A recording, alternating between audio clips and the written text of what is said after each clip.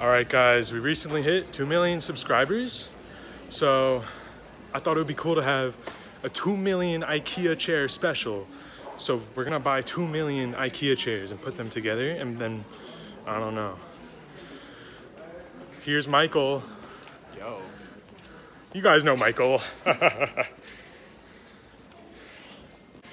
All right, so we recently hit 2 million subscribers. Um, I thought it would be cool to do a 2 million subscriber special.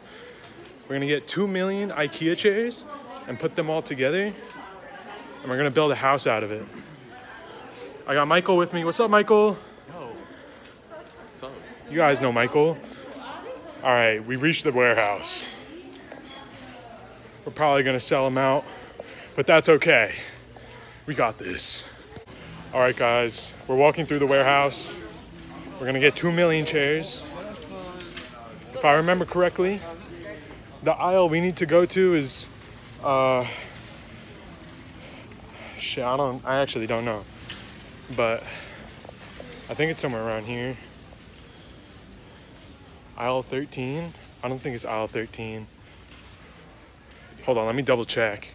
All right, it's actually in aisle five, so.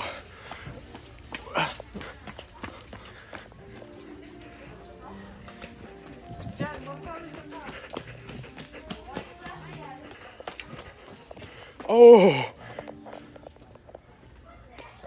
Aisle five. And there's Michael. Hello, Michael. Okay, guys, sorry to disappoint, but it appears as though uh, they don't have 2 million chairs. So we're going to talk to an employee and try and get some assistance. But this obviously, crazy. This is crazy. I, I can't believe they, they don't have these chairs. It's, me neither. It's it's ridiculous. It's absurd. But um, it's just upsetting. I I would honestly.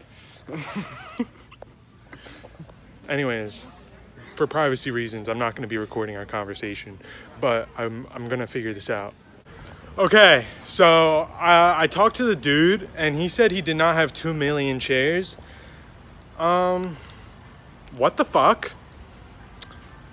Basically, guys, all I have to say is go to your local IKEA and blow that bitch up, because this is ridiculous. This is ridiculous.